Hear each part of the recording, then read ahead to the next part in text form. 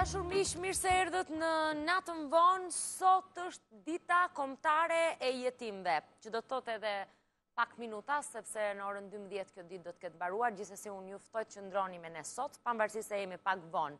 në program për shkak të intervistës së Lulzim Bashës në Tonight Ilva Tare, ne në këtë kohë që na ka mbetur në dispozicion, do të flasim vetëm për jetimet për problematikën e tyre. Unë kam ftuar drejtorin e përgjithshëm të Institutit Kombëtar të Integrimit të Jetimëve Shqiptarë, kush tjetër përveçse Ilir Çumanit mund të flasë në ditën kombëtare të jetimve, për të cilën ai ka qenë iniciator vetë, që të vendosej pikërisht data e sotme, data 20 maj, zoti Çumani, mirëmbrëma, mirë se erdhët. Mirë se ju gjeta Dhe më vjen mirë që në këtë ditë të veçantë që përkon me një ngjarje të veçantë në jetën e fëmijëve jetim në vendin tonë, të zhvillojmë një bisedë edhe për interes të publikut edhe të audiencës. Absolutisht, do të mundohemi të bisedojmë. Dhe problemet e shumta që kanë në përgjithësi këta të rinj jetimë dhe fëmijë jetimë që Do të mundohemi të bisedojmë me idenë që ata që na dëgjojnë nuk janë vetëm jetimë dhe e dinë problematikën e tyre, por edhe për ata që nuk e njohin këtë problematikë, që nuk e kanë këtë shqetësim, nuk e dinë se sa e vështirë është të rritesh në një shoqëri, duke qenë në këtë pozicion, duke mos patur statusin e duhur, duke mos patur mbështetjen e duhur në një shtet të varfër siç është Shqipëria. Po pse data 20 maj, zoti Çumani, Ju jeni iniciator i vendosjes së kësaj date. Pse pikërisht kjo datë? Jonida, unë shpeshherë e kam thënë dhe në studio të tjera televizive dhe në mjedise publike, në vëmendje të publikut e kam sjellë pse data njëzet maj duhet të jetë një ditë memorje për jetimët në Shqipëri.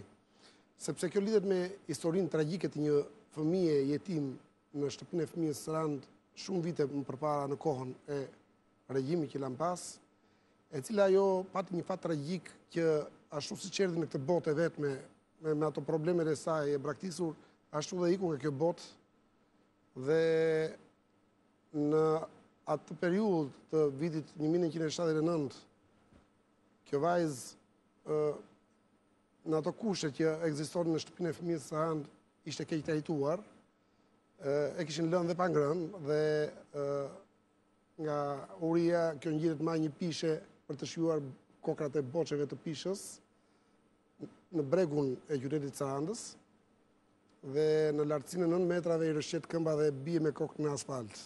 Shënon aktin final dhe fatal të, të kësaj vajze, e cila qëndroi për gati nëntë ditë në gjendje kome në spitalin e këtij qyteti, me gjithë përpjekjet e shumta të mjekve që u bën ç'është e mundur që ta rikthen në jetë këtë fëmijë dhe me ardhjen e një ekipi specialistësh nga Tirana nuk mund të do ta shpëtonin sepse i tillë ishte fati i saj dhe i shkruar që të ikte në, nga kjo botë e paplotësuar ndonjëherë dhe ashtu siç erdhi ashtu dhe iku. Dhe në këtë kuptim, duke menduar që drama e fëmijëve jetimë është prezente në çdo kohë, në çdo sistem, mendova që në kujtim të jetës tragjike të kësaj vajze të jetësoja një ditë kombëtare për fëmijët jetimë që do të thotë një ditë apel.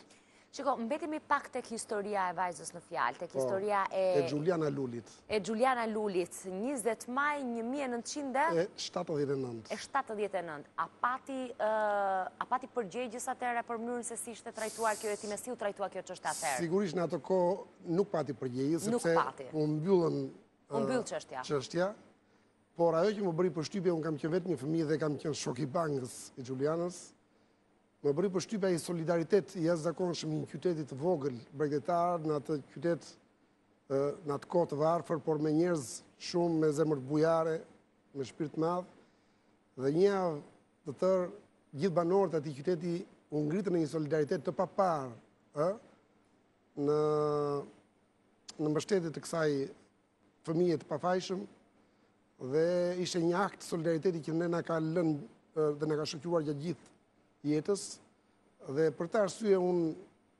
vendosa që ta ndërmerrja iniciativë që të jetësoja një ditë kombëtare për jetimët që histori dhe drama të tilla njerëzore të mos i kemi prezente në mjedisin, por që për fat keq ato janë me shumicë edhe Ky është realiteti shqiptar dhe është fatkeqësi në fakt. Absolutisht, po ka një kontradikt të madhe dhe më lini ta t'jua pyes, madje dhe ta sqarojmë për publikun.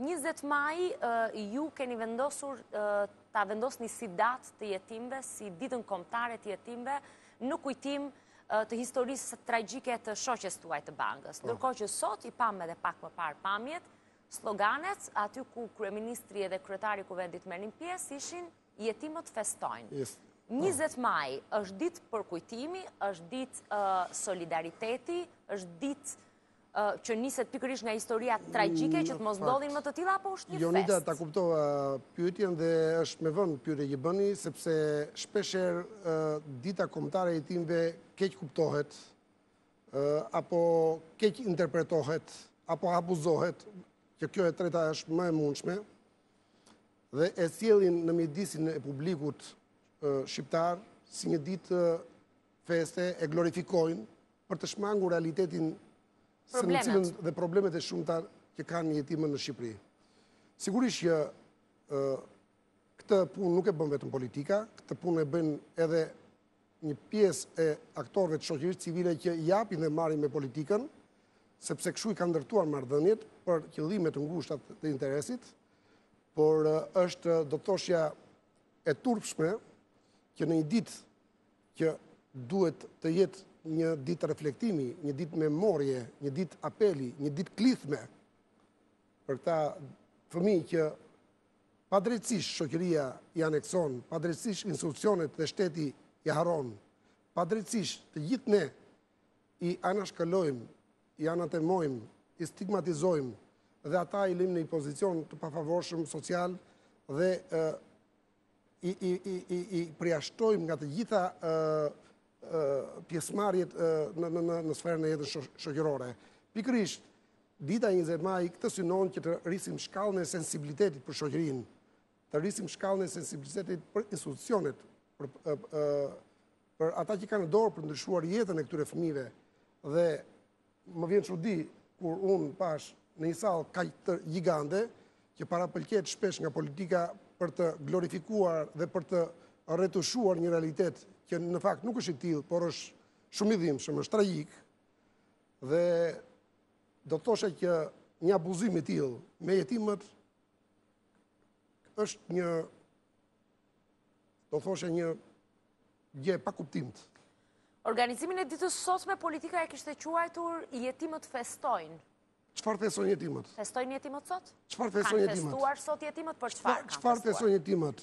Mungesën e ushqimit të përditshëm, mungesën e veshjes, mungesën e medikamenteve, të ilaçeve, mungesën e librave, në shkollë, të lodrave, të argëtimeve, Çfarë festojnë fëmijët jetimë? Dihet realiteti i fëmijëve jetimë në Shqipëri është një realitet tragjik.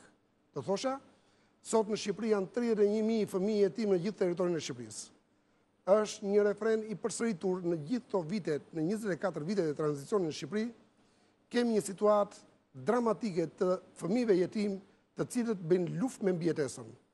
dhe nuk është meritë as e shoqërisë civile, as e institucioneve shtetërore dhe e askujt aktori tjetër që në qofë se jeta e tyre pëson një përmirësim, kjo falë atyre njerëzve vullnetmirë që i rrethojnë në gjirin e tyre familjar, në mjedisin ku ata janë, të njerëzve të thjeshtë që kanë ndjeshmëri të lartë dhe ndryshojnë jetën e këtyre fëmijëve. Do të thosha që fëmijët jetimë sot vuajnë abuzimin nga politika, por dhe abuzimin e shoqërisë civile. Të dyja këto japin dhe marrin me njëra tjetrën në kurriz të këtyre fëmijëve dhe prandaj jeta e këtyre fëmijëve bëhet gjithmonë dhe më e vështirë. A ndihen keq fëmijët jetimë kur çdo njëzet maj të gjithë përpara kamerave mundohen të kujtojnë me dhurata dhe mbas njëzet majit në datën njëzet e një nuk duket askush më në shtëpitë e fëmijës? Unë ju siguroj që të gjithë ata fëmijë që sot kanë qenë në pallatin e kongreseve atje nuk ka as njëzet përqind të fëmijëve jetimë. Ata janë fëmijë, nxënës shkollash, të mbledhur tufa-tufa nëpërmjet një mekanizmi shumë spekulativ të individëve që e kanë bërë traditë tani këtë histori dhe për të realizuar interesat e tyre të ngushta të përfitimit material dhe për të joshur politikën dhe për të fituar simpatinë e politikës, bëjnë manovra të tilla të turpshme në kurriz të këtyre fëmijëve.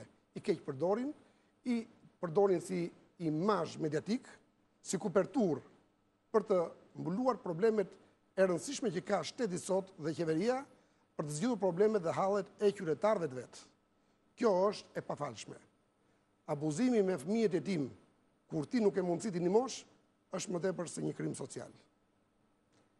Çfarë ndodh në datën 21 me jetimët? Çfarë ndodh nesër me jetimët? Fillon refreni i zakonshëm, i jetës të tyre të vështirë, i problemeve dhe halleve të shumta që ata kanë. Ata kthehen përsëri në pozicionin e tyre, bëjnë luftën e tyre në përpjekje për mbijetesë, janë fëmijë të frustruar, janë fëmijë që ndihen shpeshherë në faj, sepse në psikikën e këtyre fëmijëve ekziston një proces frenues. Po të flasësh me psikologë dhe sociologë që njohin mirë botën e fëmijëve jetimë të cilët nuk marrin përkujdesin dhe dashurinë prindërore dhe janë të privuar nga kjo lloj përkujdesi dhe kjo lloj dashurie, këta fëmijë që në ngjizjen e tyre janë fëmijë të ardhur nga dhuna, Janë fëmijë të ardhur nga familje destruktive. Janë fëmijë të ardhur nga përjashtimi. Dhe çdo... Janë fëmijë që kanë ardhur në jetë në ditë të vështira të familjeve. Në ditë të vështira. Dhe në momentin kur këta fëmijë dalin në jetë, imagjinojeni me çfarë ambienti përballen. Ë sigurisht që qëllimi i institucioneve dhe i aktorëve që merren me me me me mbrojtjen e këtyre fëmijëve është që T'i sigurojnë një familje alternative në momentin që humbasin një familje dhe qëllimi kryesor është që t'i shmangim nga institucionalizimi, do të thotë që fëmija që braktiset në maternitet në shtëpinë e lindjeve, apo që prindërit e sjellin në jetë dhe nuk kanë mundësi ta mbajnë dhe e dorëzojnë në shtet, e falin në shtet, apo prindërit që u hiqet e drejta prindërore, e dorëzojnë këtë fëmijë në institucione dhe institucionet menjëherë duhet të përgatisin gjithë praktikën ligjore të këtyre fëmijëve me qëllim që të shkurtojnë kohën sa më sa të shkurtojnë sa më shumë kohën për institucionalizim dhe të përgatiten për një familje alternative ose kujdesarie ose familje birësuse. Ideja është që institucionet të jenë një një hapësirë ndërmjetëse, nga një familje në një destinacion tjetër, familja patjetër për këta fëmijë. Tranzit, për të siguruar një alternativë tjetër në mungesë të familjes biologjike. Sa e vështirë është kjo sot? Sa vite kanë këta fëmijë që rrinë nëpër institucione dhe nuk është kryer ky procesi i tranzitit? Dhe ku qëndron vështirësia sot, që këta fëmijë të gjejnë një familje? Atëherë, ne duhet të themi një gjë, që sot në Shqipëri ekzistojnë 27 qendra rezidenciale, shtetërore dhe joqeveritare. Janë shumë apo pak? Nuk mund të themi janë shumë, në krahasim me numrin e përgjithshëm të fëmijëve jetimë në Shqipëri, që është 31.000 sot. Ku rrinë pjesa tjetër? Pjesa tjetër jetojnë në komunitet, te të afërmit e tyre. Te xhaja, te tezja, te halla, te një i afërm, Po brenda familjes jo të vogël të madhe. Edhe brenda një familje.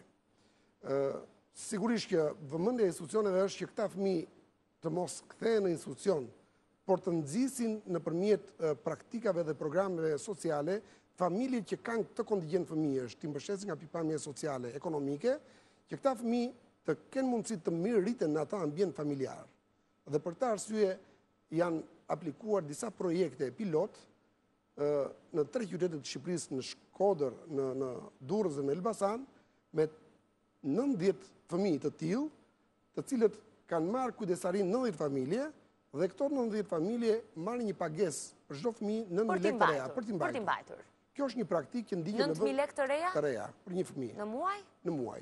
Kjo është një praktikë që ndiqet në çdo vend të perëndimit, sigurisht nëpërmjet zyrave rajonale të cilat identifikojnë rastet e fëmijëve që i plotësojnë këto kushte dhe intervistojnë familjet që janë kandidatë për të qenë në rolin e kujdestarit, sepse jo kushdo mund të marrë në kujdestari një fëmijë, sepse duhet të plotësosh disa kritere dhe disa kushte që i vijnë përshtat fëmijës për të plotësuar këto kritere. Sigurisht pastaj edhe procesi i birësimit është një proces tjetër që është akoma dhe më i mirë dhe këtu angazhohen një seri aktorësh institucionalë duke filluar që nga shërbimi social shtetëror, Komiteti Shqiptar i Birësimit, institucionet e shtëpive të fëmijëve dhe qendrave rezidenciale, zyrat rajonale, dhe kushdo tjetër që është i interesuar për të ndikuar dhe për të për të për t'i krijuar një mundësi birësimi një fëmije që është i braktisur. Ky projekti pilot që më thatë që është bërë kohët e fundit për një grup... Këto tre vitet e fundit është po, bërë. Për një grup të vogël, ka funksionuar? Për hir të së vërtetës, duhet thënë që ka mundur të funksionuar, të funksionojë mirë, por nuk kemi ende rezultate, se rezultatet nuk jepen tani, jepen mbas Pesë vjetësh, mbas nëntë vjetësh. Çfarë do të quanit ju rezultat të mirë në një rast të tillë? Që do të thotë kur fëmija vete në një familje kujdestarie në moshën gjashtë vjeç dhe kur përfundon arsimin nëntëvjeçar, të ketë ato standarde të përshtatshme me familjet e zakonshme shqiptare. Me fëmijët e tjerë që janë rritur në familje. Në qoftë se kjo funksionon në këtë mënyrë, atëherë kemi arritur një sukses. Në qoftë se fëmija në zhvillimin e tij psikomotor dhe të, të inteligjencës dhe të zhvillimit Emocional. Emocional, patjetër. Është i prapambetur dhe i ka munguar shumëçka në këtë familje kujdestarie, atëherë kemi të bëjmë me një dështim të një procesi të tillë dhe prandaj themi që është ende herët për të dalë në konkluzion që për të kuptuar që është i suksesshëm ky projekt apo jo. Nëse është i suksesshëm, ta zgjerojmë dhe më shumë këtë këtë rrjet shërbimi, sepse duke i shmangur nga institucionalizimi bëjmë një të mirë për këta fëmijë që i, i plotësojmë kushte edhe më të mira për t'u integruar në komunitet, në mjedisin familjar, por ulim dhe koston, sepse ka të bëjë dhe me koston kjo, nëpër institucione. Mos harrojmë se shteti shpenzon 380 dollarë për një fëmijë në muaj. Domethënë, me 1600 fëmijë që sot rriten nëpër institucione, E kuptoni se sa sa i kushton shtetit nga paratë e taksapaguesve? Ndërkohë që brenda një familje do të kushtonte më pak. Në qoftë se për shembull ne do të çonim në institucion rezidencial një fëmijë dhe do të kushtonte 380 dollarë, me këtë shumë, ne do të kishim mundësi të mbështesnim në komunitet tre fëmijë. Pra ulet tre herë më pak kostoja dhe rritet standardi i shërbimeve. Problemi tjetër është ai që kemi të bëjmë dhe kemi shprehur shpesh me fëmijët që dalin nga dyert e këtyre institucioneve. Por le të mbetemi ende tek këto institucione që synimi është që të shkëputemi nga shërbimet klasike të trashëguara nga e kaluara, siç kanë qenë në ambiente të mëdhaja, menca të mëdhaja, fjetina të mëdhaja dhe synohet që Këto institucione të kthehen në kaza familje, në tip kaza familje, siç është Zyber Hallulli sot, një model që i përshtatet fshatit SOS, kështu synohet që në të gjitha institucionet rezidenciale në të gjitha nivelet, nga mosha 0 deri në 3 vjeç, nga mosha 3 deri në 6 vjeç, nga 6 deri në 5 vjeç, Të ofrohet ky lloj shërbimi në formën e tipit kaza familje, që do të thotë fëmija të perceptojë në mjedisin familjar atë mjedis që çdo fëmijë e e percepton në familje të zakonshme. E kuptoj. Të jetë një shtëpi, jo një institucion. Një shtëpizë.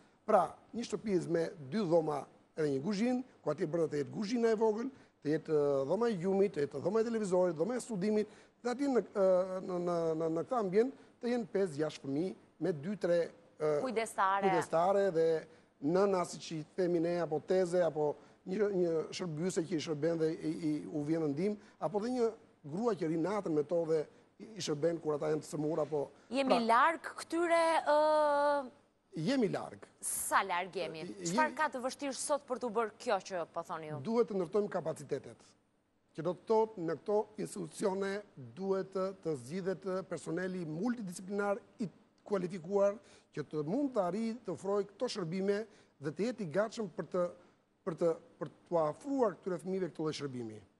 Sigurisht që jemi në prag të një reforme. që synon pikërisht për të rritur kapacitetet dhe për të për të për të përzgjedhur këtë personel multidisiplinar që do të mund të jetë i trajnuar dhe të të ofrojë këto shërbime ashtu siç ofron shërbimi i fshatit SOS. E kuptoj. Kjo synon që tek fëmija të punohet shumë me fëmijën që në moshë të vogël, që te këta fëmijë të nxitet iniciativa e vetëveprimit që te këta fëmijë të, të, të, të, të kenë të, të rrisin shkallën e inteligjencës të vetëveprimit të tyre dhe të të jenë të përgjegjshëm që dhe ata kanë përgjegjësitë e tyre. Sepse me, me rritjen në moshë të këtyre fëmijëve, ata nuk duhet të jenë në pritshmëri çfarë mund t'i sjellë tjetri, çfarë mund t'i bëjë. Të jenë të varur nga institucionet apo, jo. apo jo. Pra njërëzit që duhet t'i ndihmojnë. Të jenë me iniciativë vetëvepruese. Dhe kjo do t'i ndihmojë ata që kur të dalin nga dyert e këtyre institucioneve të jenë ta kenë më të lehtë të përshtaten në mjedisin ku ata do të jetojnë në një mjedis tjetër, sepse këta shkëputen nga institucioni dhe vendosen nëpër shkollat e konvikteve të shkollave të mesme, ku marrin një profesion. Mhm. Mirëpo ata vendosen nëpër konvikte. Në këto konvikte jetojnë 1000 nxënës, 1500 nxënës që vijnë nga familjet dhe këta fëmijë do të jenë jashtë kontrollit tradicional që kanë pat në institucionin e tyre. Atëherë ne mendojmë që çfarë ndodh me këta fëmijë që dalin nga dyert e institucioneve dhe vendosen nëpër këto konvikte. Megjithatë ata nuk janë më fëmijë, ë?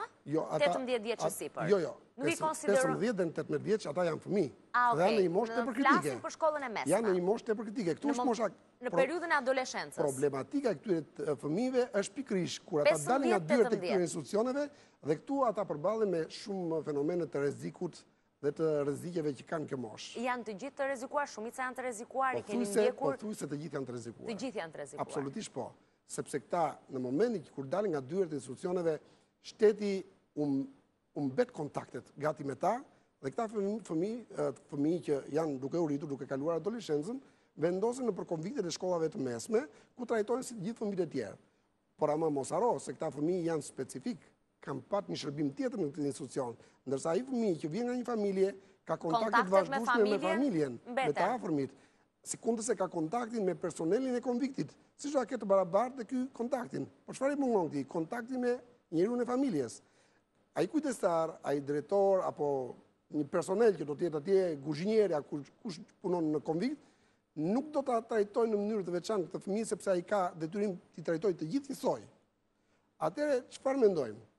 Mendojmë që të ndiqet një tjetër tipologji shërbimi për këtë grupmoshë që të hapen qendra rezidenciale rinore për të rinjtë jetimë, siç e ka fshati SOS. E kuptoj, por nga mosha 15 deri 18 vjeç, ata të rrinë aty dhe të jenë të gjithë nga komuniteti i jetimëve. Po, patjetër. Nuk do të ishte mirë... Absolutisht, absolutisht, sepse ata integrohen edhe në shkollë kur venë me grupin masiv të shokëve që vijnë nga... Nga i njëjti komunitet, nga e njëjta problematikë. Nga jeta komunitare. Vetëm shtëpia i mbledh ata në qendër rinore. Se ata do përfshihen edhe në aktivitete sociale, të ndryshme, do të ketë edhe masive. Ajo do të jetë thjesht një strehë, por që do të ofrojë shërbime multidisiplinare, siç kanë ofruar në moshën 0, 6 dhe në 15 vjeç. Zoti Çumani, ju thoni që jeni në fazë... Këtë model në SOS. E kuptoj. Dhe është modeli më i suksesshëm. Dhe ka dhënë rezultate. Patjetër. Paktën me çfarë është monitoruar deri tani. Ju thoni që jeni në fazë reforme. Reformë keni parasysh këto propozime të cilat duhen rregulluar edhe me ligj që të kenë mundësi të të realizohen? Pra, reforma synon rritjen e kapaciteteve dhe standardeve të shërbimeve në këto institucione të tipit Casa Famiglia. E kuptoj. Reforma ndërkohë dhe ndryshimet në ligj për këtë kategori, në çfarë faze janë? Çfarë po ndodh me statusin? Jemi në procesin, jemi në procesin e bashkëbisedimit dhe të uljes në tryezë të diskutimit të ndryshimit të ligjit mbi statusin e jetimit. Akoma jeni në proces, bisedimesh? Jemi në proces, sepse kemi marrë kontakte disa herë me Ministrinë e Mirëqenies Sociale, me Shërbimin Social Shtetëror, me Kuvendin e Shqipërisë, dhe kemi diskutuar gjatë dhe jemi në proces të bërjes së ndryshimit. Shiko, unë dua t'ju pyes edhe dua që të më thoni realisht ju jeni në përditshmëri me këtë lloj problematike. Deri tani, Ku është vështirësia për të zgjidhur statusin e jetimëve, që ka mbetur akoma në fazë diskutimi? Nuk ka ndonjë vështirësi, kjo duhesh bërë me vite më përpara, po sepse unë kam vite që e ngre zërin. Po pikërisht, dhe të mendosh që është akoma në fazë bisedimesh. Do ta them unë arsyen pse nuk është realizuar vite më parë, sepse kur është miratuar ligji i statusit të jetimit në vitin 1996, Në atë kohë ekzistonte vetëm një shoqatë e jetimëve, jo kombëtare. Se tani është bërë kombëtare pasi doli instituti kombëtar, dalin këta tani bëjnë shoqatë kombëtare dhe mirë bëjnë që e bëjnë. Po domethënë bëjnë kopime të shëmtuara, kupton? Në atë kohë kur ekzistonte shoqata e jetimëve, sigurisht që duke parasysh dhe specifikën e veçantë të grupit të interesit që mbronte kjo shoqatë, sigurisht që duheshe një status, një ligj i veçantë që të vinte në mbrojtje këtyre fëmijëve. si në çdo vend të botës. Në atë kohë, me ato mundësitë e kohës, në përputhje me, dhe me realitetin e asaj kohe, u përpilua një ligj që mirë apo keq, funksionoi apo nuk funksionoi, është tjetër temë. U ndërtua një ligj. Dhe u miratua në Kuvendin e Shqipërisë. Por në 22 paragrafet e këtij ligji ku parashikoheshe punësimi, strehimi, shkollimi, ndihma mjekësore, shërbimet kulturore, falas, e shumë e shumë facilitete të tjera, në një nga këto nene ishte dhe një nen tjetër neni 18 ku thuhet shteti subvencionon shoqatën e jetimëve për veprimtarinë e saj. Kjo do të thotë, sot, çdo vit shteti jep 30 milionë lekë të vjetra, kësaj shoqate që na është konvertuar shoqata e jetimëve në shoqatë kombëtare, pasi doli instituti kombëtar, Sepse këtu, këtu nuk punohet për kaos, këtu punohet për, domethënë e kanë kthyer kauzën e jetimëve për biznes. Kjo ishte pakënaqësia që ju kishit edhe me shoqërinë civile, pak për para. Jo, pakënaqësia vjen edhe për fenomene të tjera. Ne kemi fenomene më të rënda se kaq. Kemi fenomene të abuzimit me fëmijët. Deri në abuzime seksuale. nga individë perversë me vese të shëmtuara që janë të identifikuar në opinionin publik, njihet se kush, se kush janë këta persona. Janë brenda institucioneve? Jo, janë jashtë institucioneve ja, në shoqërinë civile. Uh, që me një vendim gjykate legalizojnë një OJF dhe uh, kanë dorë të lirë të veprojnë si të duan Dhe të kenë kontakte me jetimë dhe imagjinoni në duart e kujt janë këta jetimë. Jo, po kjo është kjo është shumë e rëndë. Ne kemi një material, unë kam një material dhe e kam bërë publike edhe në disa media të tjera dhe i jemi duke punuar fort dhe një ditë do bëhet publike pa diskutim kjo, ku një i ri jetim 19 vjeçar i drejtohet në rrjetin social këtij kryetarit të shoqatës së jetimëve XXX Po, po. Nuk do përmendim emra? Absolutisht jo, sepse është në fazë hetimi. Dakord. Që është i vetëquajtur jurist, por në fakt nuk është jurist, është sekser, nuk e di se ç'bën, dikur ka punuar kamarier, jeton në Kombinat, tani ata që e njohin e njohin shumë mirë, sepse unë jap disa të dhëna, është identifikuar ky person, i drejtohet këtij të shkretit dhe i thotë që unë kërkoj ndihmë sepse jam me një prind të divorcuar e jo ndaj këtej, kam nevojë për shkollë e për kështu, do vish te shoqata ime, do bësh këtë, do bësh atë dhe hyn në një dialog kaq të neveritshëm, që është zbardhur materiali, që nuk e di, domethënë, Ky fëmijë e ka denoncuar?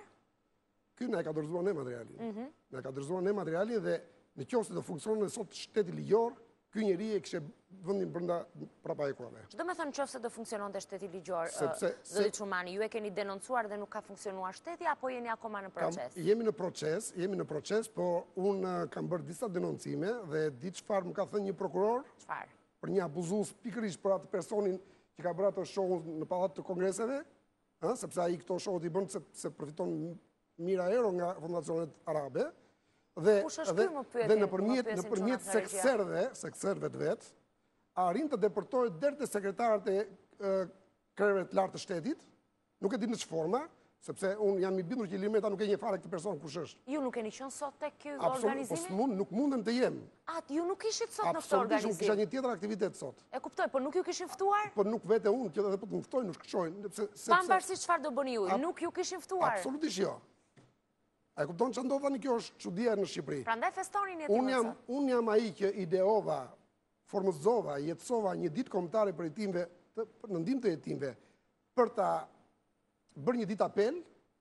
Nga ana tjetër bëhet një lojë e shëmtuar, siç është bërë dhe vjet para, para dy vjetësh me Jozefina Topallin. Të kuptoj.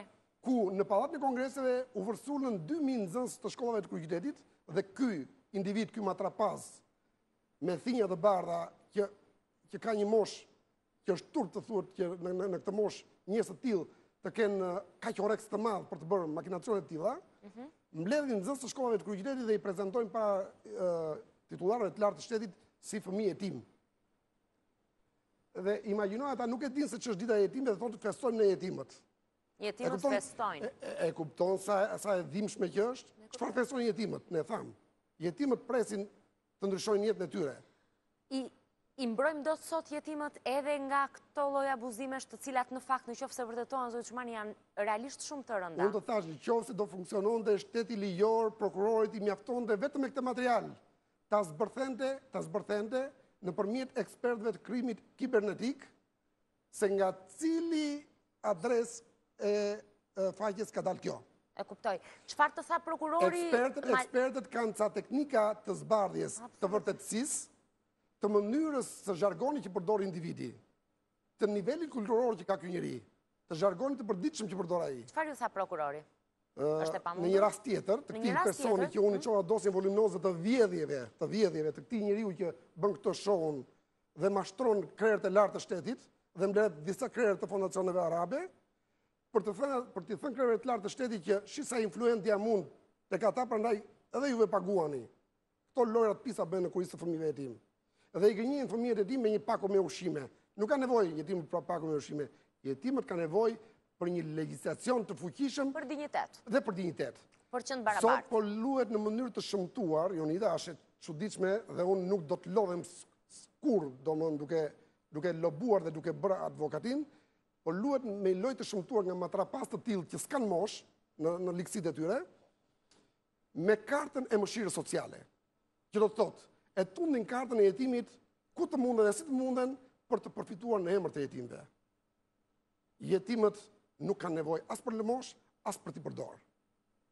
Jetimët kanë një shtet, kanë institucionet e tyre, kanë një legjislacion, dhe ti në qoftë se do të ndihmosh të kërkosh te shteti të ngresh zërin dhe jo të bësh lojëra të pista dhe në këmbim të heshtjes të marrësh një mbështetje si shpërfaqësore nga shteti, për t'u thënë donatorëve tuaj që shih kë sjell unë, sjell kryetarin e parlamentit, shih kë sjell unë, sjell kryeministrin e Shqipërisë, për t'u thënë donatorëve, e kupton se ça bëhet, dhe merren çeqe me para, në emër të jetimëve. Këto lojëra janë bërë gjithë gjithë këto vite. Shkëputemi për pak publicitet, rikthehemi prapë me zotin Çumani.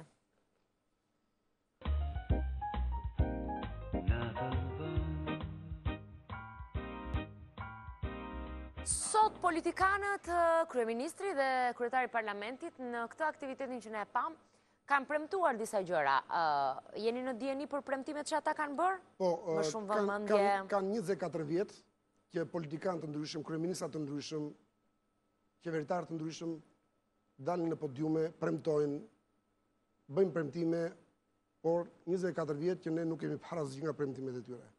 Do zoti mbase kjo është një ugur i mbarë, që meqenëse është bashkuar dhe kryeministri dhe kryetari i parlamentit, që unë mund të ketë ndonjë ndryshim. Unë nuk e vë në dyshim ndjeshmërinë e tyre, sepse ata janë njerëz... I keni takuar ndonjëherë personalisht? I kam takuar. Që nga marrja e pushtetit për të lobuar për jetimët? Para pak ditësh unë kam qenë në zyrën e Zotit Meta dhe Ka qenë shumë i gatshëm, ai është njeri shumë i hapur, është njeri shumë komunikues dhe bashkëveprues, por unë jam i bindur që edhe Zoti Meta dhe Zoti Rama nuk kanë dijeni se me kë kanë të bëjnë dhe ç'ndodh mbrapa kuintave të një skenari të fëlliqur në këto sallat të stërmëdha të mbushura me fëmijë që janë dhe s'janë jetimë. Këto kanë një skenar nga mbrapa, pse bëhen dhe e thamë ne këtë gjë, por jam i bindur që edhe Zoti Meta, edhe Zoti Rama e kanë ndjeshmërinë e lartë si, si, si në fund të fundit ata janë uh, drejtues të lartë të shtetit që kanë përgjegjësitë e tyre kushtetuese dhe detyra e tyre është pikërisht për të punuar për të mirën e këtij vendi dhe për të mirën e këtyre fëmijëve. Jam i bindur që ata i kanë të gjitha kapacitetet, mundësitë për të ndikuar jo pak, po shumë dhe për të ndryshuar jetën e këtyre njerëzve. Por, apeli im është nga ekrani i televizionit. Këtu, ha? Te cila nga kamerat? Zoti kryetar i Kuvendit të Shqipërisë dhe zoti kryeministër, hapni sytë dhe nëpërmjet këshilltarëve tuaj, sekretarëve tuaj, merrni informacionin e saktë se me kë keni të bëni, sepse është shumë e rëndë në qoftë se ju lidheni me njerëzit e gabuar dhe merrni informacion për të për të bashkëpunuar me njerëz që nuk gëzojnë integritetin moral. Të kuptoj. Zoti Çumani. me gjithë problematikat që ka pasur shoqëria vitet e fundit. Edhe diçka tjetër, në këtë po, kontekst të kësaj që unë u bëra thirrje të dyve, dua të them një gjë. Sot shoqëria po vuan një plagë të madhe. Mungesën e aspiratave, të idealeve. kanë shteruar idealet dhe aspiratat, dhe këto janë konvertuar vetëm në format e një manipulimi për përfitim material. Absolutisht, dhe duke mbetur te kjo, shoqëria shqiptare në të gjitha këto vite ne e kemi thënë edhe stërthënë përveç problemeve të theksuara që ka pasur me gjendjen ekonomike, ka edhe një krizë morali, familja ka pasur krizat e veta, po përjeton krizat e veta. E gjithë ky realitet i shoqërisë shqiptare, e ka shtuar numrin e jetimve, zoti Çumani, mendoni që ritmet janë në shtimin e braktisjes së fëmijëve, apo në rënien e braktisjes së fëmijëve? Për hir të së vërtetës, duhet thënë që numri i fëmijëve jetimë dhe të fëmijëve me probleme sociale, se më shumë kemi të bëjmë me fëmijë, jo jetimë, që i themi jetimë biologjikë, po termi e po, shumë i gabuar. Po, me fëmijë që nuk kanë kujdestarin dhe kujdesin e prindërve të tyre. Kujdesin prindëror, shkaqet kryesore janë probleme të mëdha sociale ekonomike në familjet e tyre. Dhe besoj kjo kategori është shtuar. Janë divorcet. Divorcet. Janë emigrimet. Janë destruktivitetin në familje. Të gjitha këto kanë një burim. Burimi i tyre është keqmenaxhimi i politikave sociale që fuqizojnë familjen. Domethënë, në qoftë se ne nuk adresojmë në familje programe zhvillimi dhe mbrojtje nga pikëpamja ekonomike dhe sociale që ulin riskun e këtyre fenomeneve që thamë pak më lartë, do të ulim dhe shkallën e rrezikut për të braktisur fëmijët. Sigurisht, vitet e fundit vihet re një rritje e numrit të këtyre jetimëve, si biologjikë e fëmijëve me probleme sociale. Mos harrojmë se para pak kohësh ne kemi patë krimin brenda familjes që mori përmasa të frikshme. Burri që vret gruan, më pas vret veten, kemi pasur histori të tilla ku fëmijët kanë ngelur në rrugë. Mos harrojmë ngjarjen e Sukthit, ata katër fëmijë që u dogjën në mes të territ të natës. Sa ngjarje të tilla kemi në gjithë Shqipërinë? Çfarë roli luajnë zyrat rajonale të shërbimeve sociale apo njësitë vendore që sot kanë të gjitha përgjegjësitë për të menaxhuar rastet e familjeve në risk, të cilët kanë nevojë për dorën dhe mbështetjen e pushtetit vendor. Sigurisht këtu kërkohet një aksion i madh për humanizimin e shoqërisë, dhe ky aksion nuk vjen as nga shoqëria civile, por vjen në bashkërendim të, të plotë midis shoqërisë civile, aktorëve institucionalë, qeveritarë, joqeveritarë, biznesi, media, pra të gjithë të bashkëpunojnë në formë kapilare me qëllim që të rrisim kapacitetet e mbrojtjes dhe të asistencës sociale për ato familje që kanë nevojë dhe për t'i shmangur nga shkalla e rrezikut. Është çështje parash, vendosja në vend e dinjitetit edhe plotësimi i kërkesave të tyre thelbësore, apo është çështje mentalitetit? Jo, nuk është as çështje parash, as çështje e mentalitetit, po është çështje e mungesës së vullnetit. qoftë vullnetit politik, qoftë edhe vullnetit për të promovuar vlerat e humanizmit, të aksionit që thamë për humanizimin e shoqërisë. Sepse në këto vite, në këto 24 vite tranzicioni në Shqipëri, vihet re që individi po shkëputet gjithmonë më shumë nga jeta e përbashkët dhe po kalon drejt një individualiteti. Dhe këtu kemi, duhet të kemi parasysh që vërtet shoqëria konsumiste e, e, e promovon një gjë të tillë, sepse individi do bëjë përpjekje për të për të sfiduar gjitha vështirësitë e jetës që i del përpara, por duhet të kuptojmë një gjë që pa aktet e solidaritetit shoqëritë bëhen më të më të më të, më të dobëta, më të ë Demokracitë nuk funksionojnë siç duhet. Shoqëritë nuk funksionojnë siç duhet. Po. Në çfarë do lloj sistemi qofshin ato? Sa jetimë janë sot në rrugë? Duhet të ketë statistika për 3.000, për 4.000, jo fëmijë jetimë, fëmijë të lypsarisë. E kuptoj. Që midis tyre ka dhe fëmijë jetimë, pa diskutim. Absolutisht, një rast para pak kohëve. Por kontigjenti, kontigjenti më i madh i tyre janë fëmijë jetimë nga komuniteti rom. sepse pjesa më e madhe e këtyre fëmijëve nuk janë të regjistruar në zyrat e gjendjes civile. Një pjesë e madhe e tyre janë nga lidhjet jashtë martesore. Ju e dini se ç'ndodh në komunitetin rom, ha? ku jetojnë, si jetojnë, si trajtohen këta fëmijë, ku vetë prindërit i përdorin këta fëmijë për lypsari, dhe këtu pastaj janë bërë disa herë aksione nga Ministria e Mirëqenies Sociale, jo po Ministria e çështjeve sociale dhe shanseve të para, pabarabarta në atë kohë, me Ministrinë e Brendshme, për të shmangur nga rruga kontigjentin e madh të lypsarisë që pushtuan në, në një mënyrë skandaloze lokalet e kryeqytetit në atë kohë. Janë akoma. Unë atë kohë bëra dhe një shkrim te Panorama. Ju thoni në atë kohë, janë akoma. Po janë akoma, janë akoma. Atëherë, kjo është rruga dhe forma më e mirë për t'i zbrazur këto rrugë? Jo. Unë mendoj që Vërtet, mund t'i shmangësh nga rruga, por t'i shoqërosh dhe me plan masash aksioni për t'i mbështetur këta fëmijë dhe këto familje me programe mbështetëse, me ndihmë ekonomike.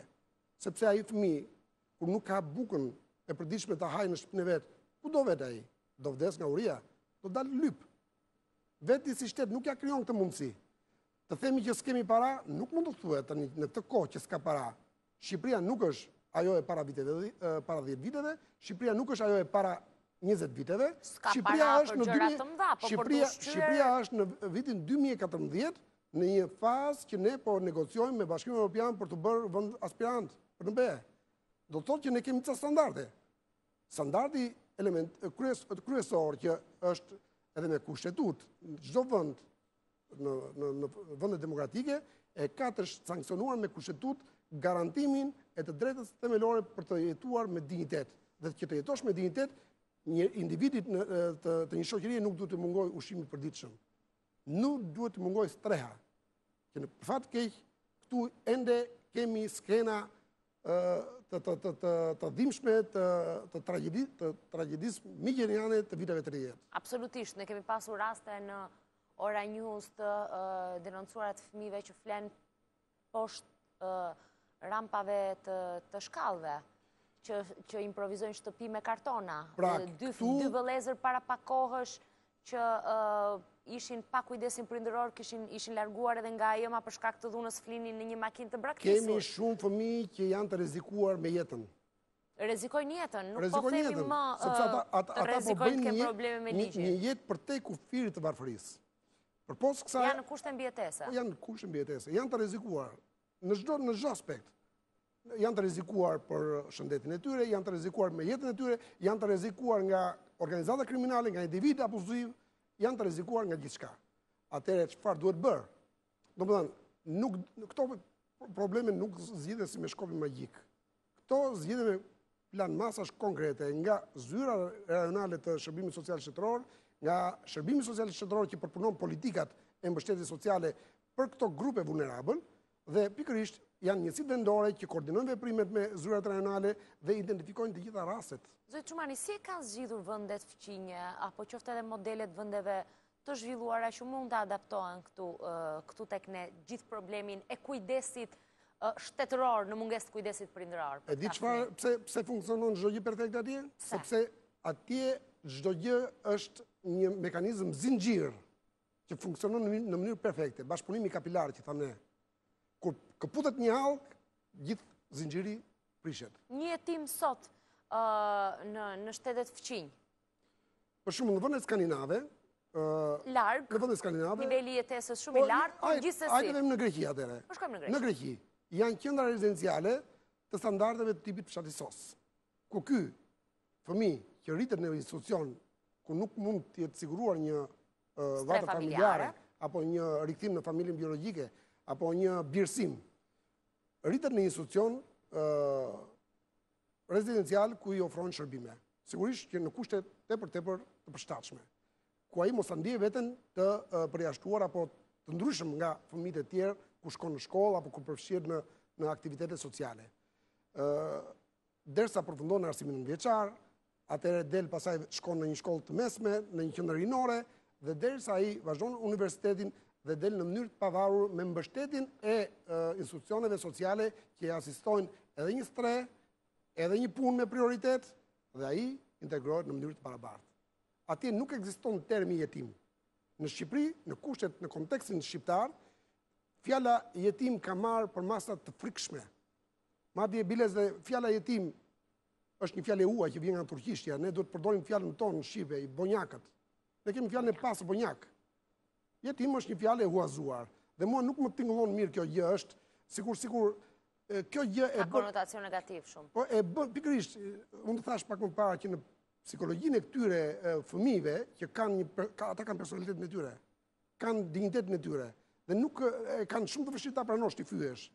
Nuk të kundërshtojnë, po ata të, të refuzojnë dhe shikojnë punën e tyre dhe nuk ta pranojnë ndihmën që jep. Prandaj kur e shikojnë të pasinqertë. Prandaj ata janë të frenuar. Ata janë të frenuar. Ata janë të frenuar dhe mbushja e sallës në pallatin e kongreseve jam i bindur që janë marrë fëmijët kope nga fondacionet arabe, sepse u japin nga 25 dolarë në muaj, dhe në qoftë se ai fëmijë nuk vete atje, ua presin atë, atë, atë ndihmë. Kështu funksionon.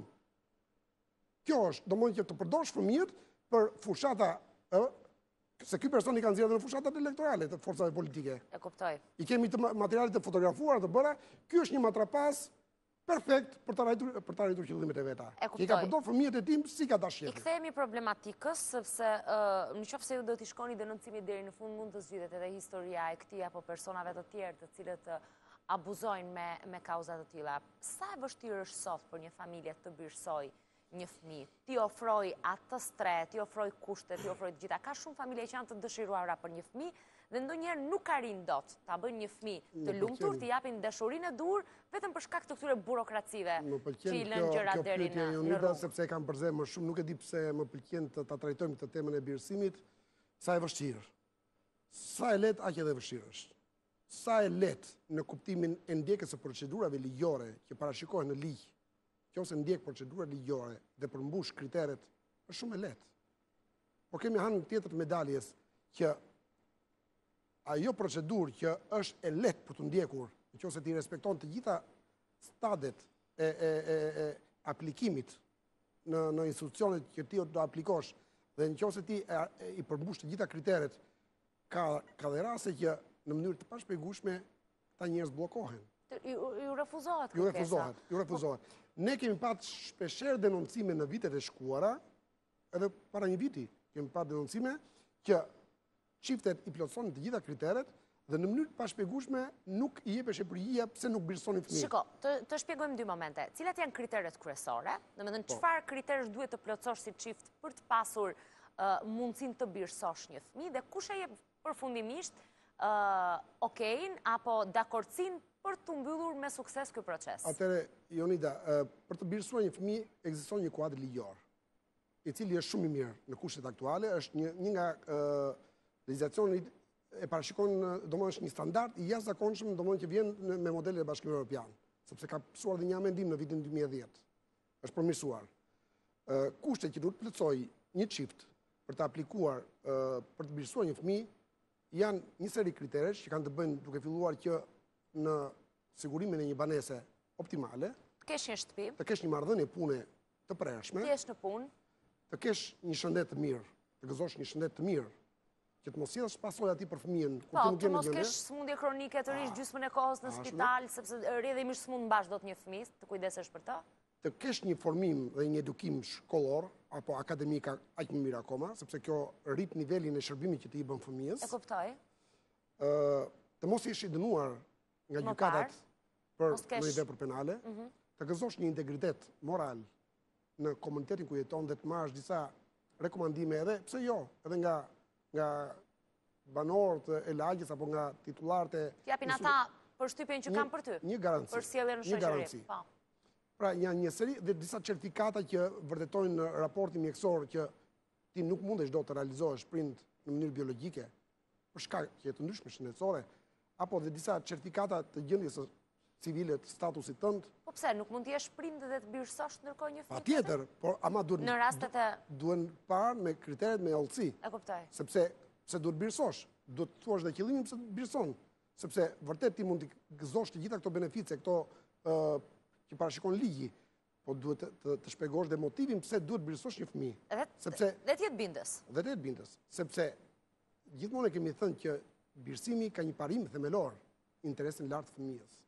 Dhe kur intervistohen çiftet që aplikojnë, duhet që ekipet multidisiplinare në Komitetin Shqiptar të Birësimit që janë jurist, psikolog, sociolog, të jenë të bindur gjatë intervistave që bëjnë dhe trajnimeve të vazhdushme që u bëjnë çifteve, se marrin edhe një trajnim, në seanca të ndryshme, mhm. që ndërgjegjësohen këto çifte dhe të përgatiten për t'u prindëruar, sepse të prindërosh nuk është vetëm një benefic që ke të drejtë të birësosh, po ke detyrimin ligjor të dish të prindërohesh, ka të drejta dhe detyrime.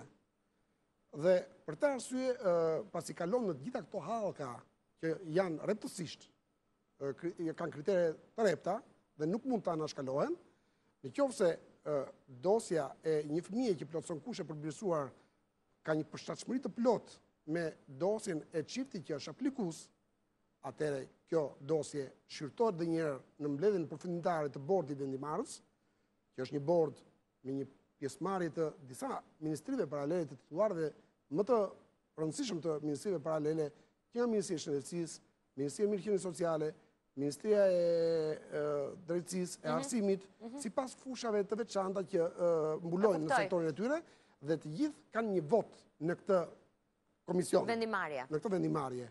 Një votë e cila është shumë e rëndësishme, sepse legalizon ose formalizon në mënyrë ligjore aktin final të birësimit. të cilën ia përcjell gjykatës dhe institucioni i gjykatës është që i vë vulën që është ndjekur procedura e rregullt apo jo. Nëse gjykata e çmon të arsyeshme që praktika që është ndjekur Nëse jo, praktika që është ndjekur deri tani ka plotësuar të gjitha kushtet, e aprovon dhe e miraton. Përndryshe e kthen mbrapsht gjithë dosjen dhe fëmija nuk mund të birësohet. Ka shumë kërkesa për birësim sot nga vijnë këto kërkesa? Janë më shumë çifte shqiptare që kërkojnë të birësojnë, apo ka akoma interes shumë të lartë nga çiftet e huaja? Dhe njësoj janë kriteret, si për ata që janë shqiptarë, si për ata që janë të huaj? Ka shumë çifte shqiptare që dëshirojnë të birësojnë fëmijë. Por, për hir të së vërtetës, ata hasin shumë vështirësi për arsye të ndryshme. Po Sepse një pjesë prej tyre edhe nuk mund t'i plotësojnë kushtet. Kuptoj. Pra, edhe të huajt të njëtin kriter kanë. Por, të huajt kanë një gjë, që do aplikojnë në vendet e tyre, përpara se të vijnë këtu në Komitetin Shqiptar të Birësimit. Domethënë ato vende që kanë marrëveshje me Komitetin Shqiptar të Birësimit. Për shembull, në qoftë se ne kemi me 4-5 vende, më duket, me Kanadanë, me Amerikën, me Italinë. Kërkesa vjen nga Komiteti Paralel? Po, jo Komiteti, por ato janë zyra... Qënë si ka? Agjenci. Agjenci. Agjenci.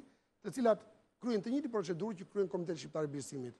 Ata shqyrtojnë gjithë praktikën ligjore që të aplikantëve, të cilët pasi e përfundojnë dosjen dhe studiojnë mirë, ja paraqesin Komitetit Shqiptar të Birësimit dhe pastaj Komiteti Shqiptar i Birësimit në bazë të listave që kanë evidentuar kandidatë për birësim, bëjnë përputhshmërinë dhe pastaj ndiqet procedura ligjore për ta kaluar në gjykatë dhe për të birësuar një fëmijë. Shumë e gjatë lista e pritjes? Shumë e gjatë. Shumë e gjatë. Shumë e gjatë, sepse numri i fëmijëve për të birësuar është relativisht i vogël. Janë 50-60 fëmijë maksimumi 70 në vit fëmijë të braktisur. Që braktisen në martenitet dhe hyjnë në procedurat e birësimit. Edhe kryesisht janë shumë e gjatë dhe jo të gjithë mund të përfitojnë të drejtën për të birësuar, sepse, sepse e, procesi i birësimit ka karakter selektiv, bazuar mbi ato praktika që thamë që të përzgjedhjes të rasteve më të mira. Dakord. A pra, ka i... duhet të gjejmë një familje për një fmijë, dhe, dhe jo, jo një fmijë për një familje. Kjo Interesi bazë është i fmijës, jo i prindërve që duan po, të po, bëhen po. të tillë. Janë më shumë të interesuar për të birësuar foshnje te kjo mosha një deri në tre vjeç, apo ka interes edhe për fmijë më të rritur? Domethënë tre, pesë, mbase edhe në moshën e adoleshencës për të qënë kujdestarë të tyre? Në fakt, në psikologjinë e qytetarëve shqiptarë, ekziston idea që që të birësojnë fëmijë sa më të vegjël. Të moshës 0 deri në 3 muaj edhe 6 muaj po jo më shumë. Kjo ndodh për arsyen e vetme që këta prindër që kërkojnë të birësojnë një fëmijë, i druen dhe një fakti tjetër që këta fëmijë të munden t'i perceptojnë si prindër të vërtetë biologjikë. Pastaj fillon ideja kur të rriten ta marrin vesh që nuk janë fëmijë biologjikë. Kjo është një mentalitet shumë i gabuar, sepse me kalimin e shumë viteve fëmija do kërkojë identitetin e tija. Sigurisht që... Domethënë shanset për t'u birësuar, për të gjetur një familje, janë kur je akoma foshnje. Fëmija evoluon. Më pas po u rrite, nuk interesohet më njeri për ty. Absolutisht. Kjo është idea.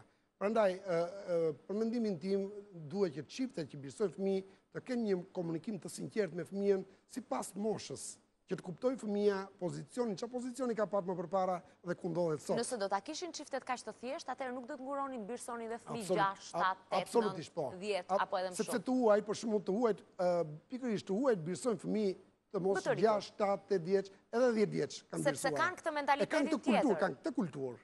Kurse këtë lloj mentaliteti që kanë njerëzit në, në përgjithësi këtu në vendin tonë, e kanë të gabuar për arsye sepse ndoshta e kanë vetë të trashëguar nga një e kaluar, nga një paragjykim i mjedisit ku jetojnë etj etj, por unë mendoj që kjo është nuk është e pavend. Shikoj, ne po shkojmë pak a shumë zoti Çumani drejt fundit të kësaj bisede, po meqë në fillim Ishte pak absurde gjithë ai slogani jetimët festojnë. E kuptojmë që jetimët sot nuk mund të festojnë, sepse janë akoma larg ditës për të festuar. Kjo është një tallje. Po, a janë në ditë të mira, apo në ditët më të vështira të tyre? A ka optimizëm, a ka shpresë për ta, apo shkojnë gjërat drejt rrugës duhur? A mund ta themi dot këtë? Nuk mund ta themi. Akoma, është herët. Për hir të së vërtetës nuk mund ta themi sepse dihet në ça kushte jetojnë sot familjet shqiptare, aq më keq fëmijët që kanë mungesën e familjes. Fëmijët që kanë mungesën e familjes kanë mungesa të theksuara. Dhe kur këto mungesa ekzistojnë në ato familje që janë të shndosha, po tek këto familje që janë me fëmijë jetim, dhe nuk mund të themi tani që jeta e tyre është si në përrallë. Nuk mund të glorifikojmë një ditë kombëtare të jetimëve që në në fokus të kësaj dite duhet të jetë apeli dhe dhe një një brerje ndërgjegje të institucioneve për atë çka ata nuk kanë mundur ta bëjnë për këta fëmijë. Dhe ai slogan i shëmtuar që ka dalë në pallatin e kongreseve, i shëmtuar, sepse aty aty shpreh edhe nivelin kultural të individëve që kanë për këtë gjë, se s'kanë as fantazi, Jetimët festojnë, tregon se në ç'nivel ka rënë shoqëria civile. Jetimët sot kërkojnë strehim, punësim, punësim, arsimim, arsimim, dhe mbështetje dhe mbrojtje sociale. Mbështetje dhe mbrojtje sociale. Këto janë tre element kryesor, katër element kryesor që të shprehen në status. A dhe ligji për statusin e jetimit duhet që t'ua sjellë në vëmendje ligjvënësve, por jo vetëm ligjvënësve, të gjithë aktorëve institucional, duhet të ketë në fokus interesin e fëmijëve jetim dhe jo interesin e organizatave joqeveritare apo të institutit që drejtoj unë. Fëmija mbi të gjitha. Fëmija. Nuk do të bëjmë, domethënë, nuk ka status për shoqata, për institut, për këtë e për atë, që të përfitojnë në mënyrë të padrejtë nga taksa, ka status për jetimët. Në qoftë se do të kemi një status për fëmijët, atëherë do të kuptojmë se kush janë ato organizata që punojnë me ë me kauzat e tyre dhe kush janë ato shoqata që deri tani e kanë ngritur mbijetesën e tyre në në kurriz të këtyre fëmijëve. E e trisht është edhe për faktin që përveç problemeve që kanë jetimët do të vazhdojnë të paguajnë edhe pasojat e kësaj lufte në shoqërinë civile, por gjithsesi përpara se ta mbyllim edhe të përshëndetemi, unë do të shkoj Shumë pak tek studio e lajmeve, kam kolegun Eno Muja me edicionin e fundit informativ. Faleminderit Jonida, vetëm pas pak do të kemi mundësi të njiheni me Rama ik, opozita kërkon rënien e kabinetit qeveritar, kështu deklaroi në turin e tij në Levan e lideri i opozitës Lulzim Basha. Sipas tij në vend sot nuk ka një Lazarat, por qindra të tillë. Digjen 1.8 ton hashash, ndërkombëtarët apelojnë të mos politizohet Divjaka. Arrestohet banda që ka shitur mbi 100 kg tritol C4 dhe ishte gati të hidhte në treg edhe një tjetër sasi prej 100 kg. E ndërsa maxhoranca rrëzoi dekretin e presidentit për ILDKP-në në Komisionin e Ligjeve, ndërsa Nishani kërkon që konfliktet të zgjidhen në rrugë ligjore. Këto dhe të tjera vetëm pas pak Jonida ta kthej, linja për ju. Faleminderit Eno, faleminderit të gjithëve që na ndoqët, faleminderit zoti Çumani që ishit sot me ne, unë uroj shumë që të gjithë të mendojmë për fëmijët edhe jo t'i përdorin ata për interesat e tyre. Unë u falenderoj juve që më dhatë mundësin të elaboroj gjithë çështjet e rëndësishme, që kanë të bëjnë me fëmijët, ishte një mundësi e madhe, mirë do të ishte që ata që kanë në dorë politikat për jetimët, t'ju jepnin kohën e duhur edhe t'ju jepnin atyre vëmendjen e duhur për ta çuar çdo gjë përpara, sado e vështirë që të jetë. Me gjithatë unë mendoj që e ardhmja e këtyre fëmijëve do të jetë ndryshe nesër nga dita e sotme. Shpresojmë të gjithë, faleminderit që na ndoqët të dashur miq, natën e mirë, nesër ritakohemi.